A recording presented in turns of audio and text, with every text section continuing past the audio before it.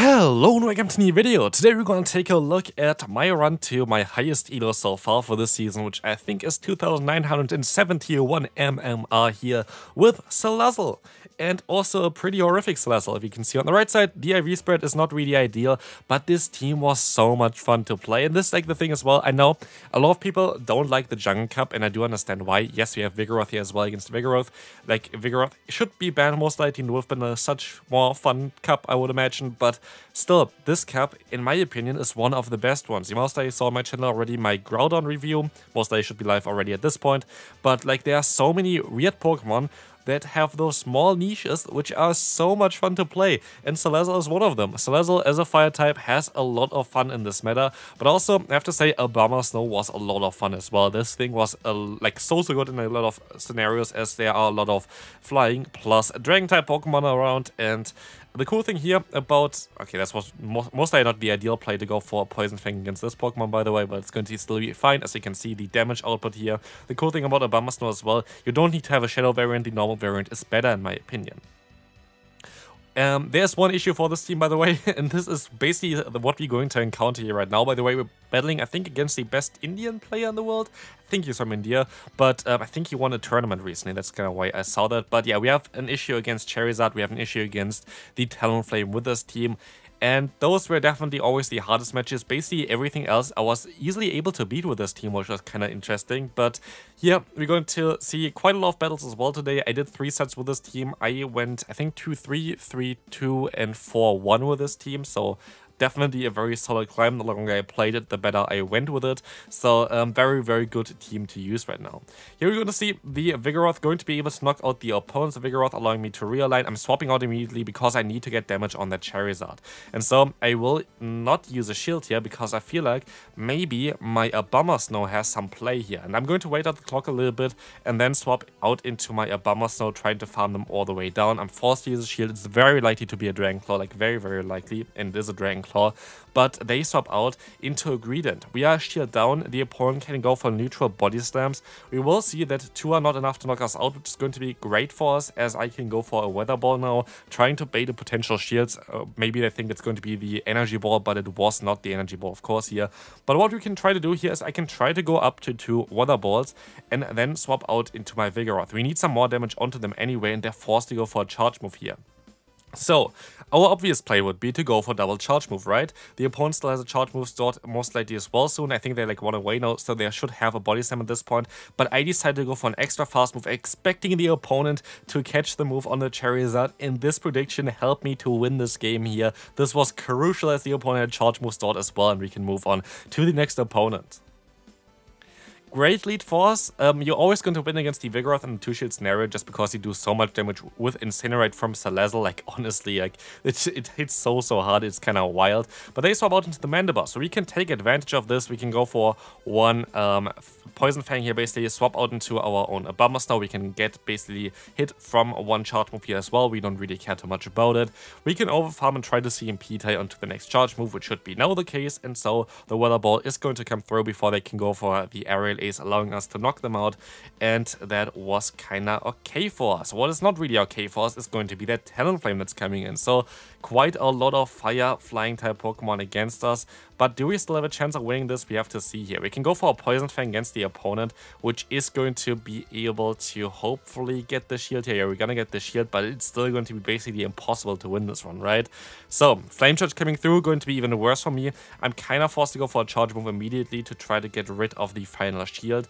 And now I have to hope that I can catch the move onto my Vigoroth, but they decide to go for an extra fast move, and so they can go for the boosted fly now. We try to do still our best to knock them out, but it's going to be basically impossible. We can go for another charge move here. This is going to connect, not going to knock them out. They can knock us out at the same time and we can try to farm them down but they still barely just get to a charge move so it is what it is Talonflame is a little bit of a trickier one you might want to have a water type in the back then instead but it is what it is Next opponent, we're going to have the Vigoroth here in the lead force. We can go for the Poison Fang as well against them.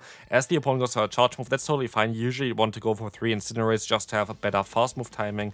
You can also go straight for the Poison Fang if you want to, but like this, you also potentially um, get a shield here, which is actually what we're gonna get, because I think we're gonna go for Dragon Pulse or Fire Blast, which we could run as well, but here we will be able to get two shields from the opponent, and we're gonna get a ton of damage with our fast move here, because double, um, yeah, double debuffed Vigoroth against our counter is going to be a great matchup for us, and they go into the Lantern here, and the cool thing is, of course, our Abomasnow will be able to resist everything they're gonna throw at me, and as I get to another Body Slam, which is crucial here, we're gonna put them into range where Weather Ball is going to be enough to knock them out, and we can get some decent um, energy most likely.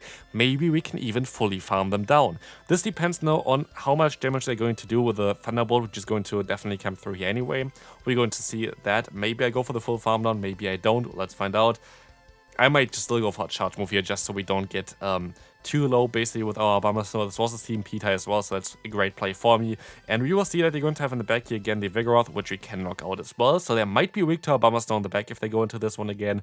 And they are. It's going to be the Trevenant, and so they're going to give up on this battle, and we can move on to the next opponent. Horrible lead. Worst possible lead, the Shadow Whiscash here, and they're gonna go straight for the Mud Bomb. A smart play, because if I if they don't do this basically, I can go for the Body Slam before they go for the Scald, which um, allows us to basically deny the advantage they get from me swapping out before. But like this, I can even go for a double Body Slam against the opponent of Vigoroth, which is going to be great, as now I will hopefully get them low enough that we can counter them down, but now they're going to decide to use a shield here, and so I'm forced to go into my Salazzle. I know that I'm forced to use a shield here as well, but um, they can still maybe get to a body slam afterwards here, which might be a little bit annoying, and they can. And so what we have to try to do here is we maybe go for... Yeah, we have to swap immediately, basically, because the opponent, I think, stayed in for a little bit as well with their Whiscash, so maybe we can get some extra energy here early on. But they decide to swap out into the Mantine, and this game is basically over at this point, right? Like, there's not a lot that we can do here. But there's a 10% chance for Energy Ball to get the defense drop. And this is exactly what we got here, and this is basically our lifeline. So, what we can do is, we can let the aerial ace go through, we can still go for the weather ball. This only knocks them out now because of the debuff. We would have not done it without it, and so we can align ourselves. This is basically our only chance, and we have to hope that they decide to use a shield on this move. And they do. This was a huge mistake by the opponent, they will still survive this one, but what we can do now is, we're going to be able to go for the Dragon Pulse, because we win the CMP tie easily against the opponent this Dragon Pulse is coming through, going to connect, going to knock them out, and we were able to flip the matchup basically after hard losing the lead. Speaking of hard losing the lead, this is this time around for the opponent the case, and they swap out into the Sableye.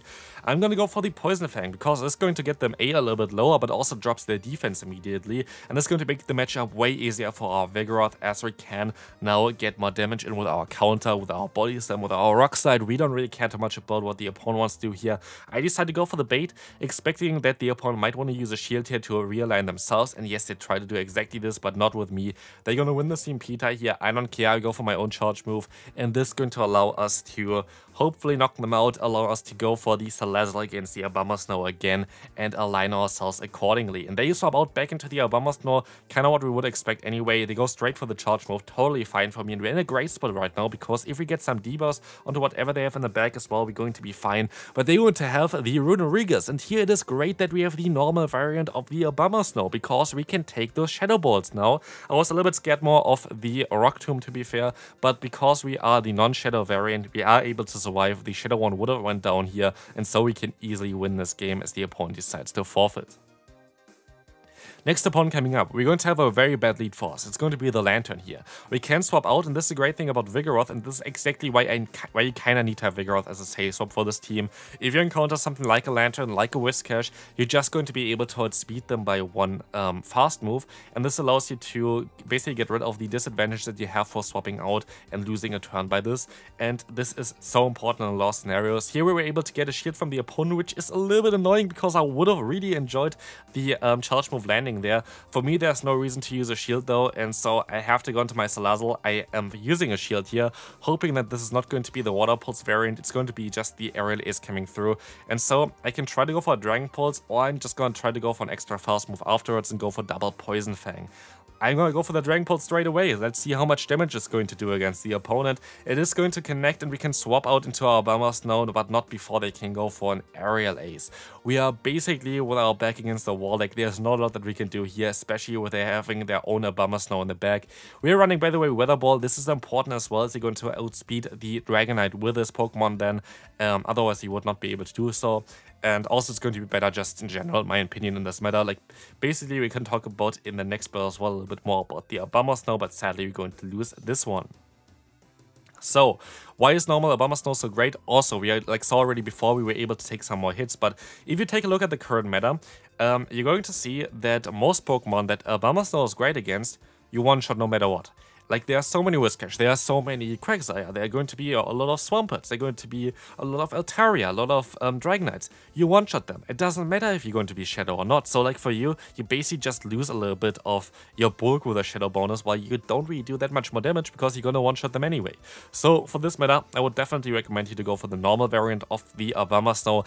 That doesn't mean that the Shadow variant is not playable or anything, I just prefer the normal variant in this meta. Shadow variant is usually more fun to play, but here I feel like the normal just makes more sense. Sadly, we lose out on the knockout here by 1 HP, but we can maybe catch the next discharge on our Abomasnow, but never mind, the opponent is going to go down here anyway with their Whimsicott in the back. Steelix, you might expect this to be a great lead for us. It is actually not. The thing is here that Steelix is going to be able to go for Psychic Fangs. Being super effective against us can be a little bit of a trickier one. And also our bulk is just very low here in general. So like we don't really yeah, survive a lot of Dragon Tails, but we at least have 100 energy, which might come in clutch later on. We have to see about this, as they're going to encounter a Tropius. This would be great for Abomasnow, but also only in a scenario where they don't have energy, because of course, their fast move as well as the aerial ace is going to be super effective against us. So what I'm going to do now is I'm going to play it a little bit differently than you might expect. Like I'm not going to go into the Abomasnow after going down here. I go back into my Salazzle. I have the Poison Fang stored and I can go for the easy knockout here, which I'm going to take advantage of. So this is hopefully going to be great for me. I'm going to swap out immediately, trying to catch a move from the Steelix, which does work out as well. But is this going to be enough to win this game is the question here. What do they have in the back? They have a Trevenant in the back. Like, this game is over. Trevenant has nowhere to go. Like, even if they would knock out our Abomasnow, which they can't, we still would be fine. Next opponent, the the lead. This is going to be great for us again. We're gonna see them swapping out into the Quagsire, and I swapped into the Vigoroth. I nearly swapped into the Abomasnow, but Vigoroth is going to be a little bit of a safer play here, actually, because Stone Edge is going to knock out I think it actually does knock out our Abomasnow because we're the normal variant. Definitely knocks out the Shadow variant. I think we barely survive as a normal one. But here we can just basically force realignment, which is definitely better for me. And so I expect that they're going to have a Whiscash in the back anyway, or like a Swampert. So for me, keeping my Abomasnow healthy in the back is kind of also how the opponent's team kind of supposed to work. Like the lead is really good against the Abomasnow, the Sasop has coverage for it, and then you have usually a Swampert or the Whiscash in the back, which doesn't really have coverage for it. And so we're going to hope that this is going to be the case again, and it is the case. And so the opponent has nowhere to go. And the great crazy thing here as well is we can just go ahead, let the Scald go through, go for an energy ball and we don't bait here at all. We're just gonna go straight for it. We still have a Dragon um, Pulse stored on our other Pokemon, our Salazzle, and so as long as you're gonna get the final shield, we should be fine here because we're still gonna do a ton of damage and we still have our own shield. And at this point, this game is over. We got the final shield. They try to do their best, trying to go for the full farm down. It does not work for them, and so we're going to be able to win this game with our Abomasnow final battle for today. Again, fairly neutrally, to be fair. I would not really say that the Vigoroth matchup is like an amazing matchup for the Salazzle. It is playable, it is not great, but it's playable. And you're going to be able to win this in the, I think in the one shield as well as in the two shield scenario you can win this. I think on paper it doesn't win this in the one shield scenario, but like it really depends on the move timing. Here, as the opponent, the fast move, with like the charge move go through, I decide to swap out, try to make a sneaky play and keep some energy, but sadly we're going to encounter the worst possible Pokemon that we could encounter. Already made a video about this Pokemon as well on the channel, so definitely check it out.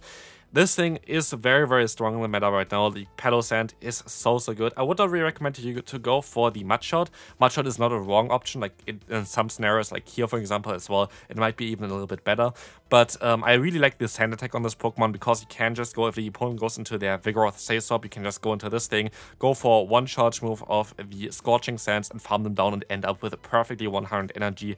But here, as you can see, sadly, another hard answer in the back here for us. We're just getting completely hard-walled Like they literally had the worst answers for both of the Pokemon in my backline against me, so like there's not really anything we can do here, or is there? There still might be something, because he can still get a move off and he can try to debuff them, but sadly, Mudshot of course is going to knock us out here, and so we're going to go down, but there was nothing I can do there. Like literally they had the Talonflame against our Abomasnow, they had the Palossand against our Vigoroth, but still we were able to climb up quite a bit with this team. Hopefully I'm going to hit Legend soon. I'm trying to do it with Spice, so hopefully it's going to work out. I'll see you then. Bye bye.